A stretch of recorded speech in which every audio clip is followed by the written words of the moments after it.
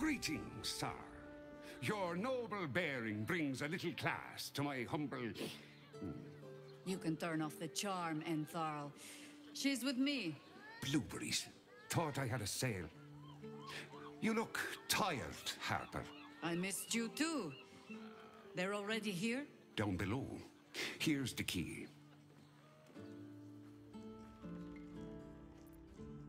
You seem a nice sort, so I'll assume the insult was accidental. Entharl's no harper. And claims no love for those who are. But he's been known to shelter us when we need it. Entharl has been known to charge rent. Harpers have been known to ignore him. Now go on. The short father may send me an actual paying customer today. To buy? You're already my favorite.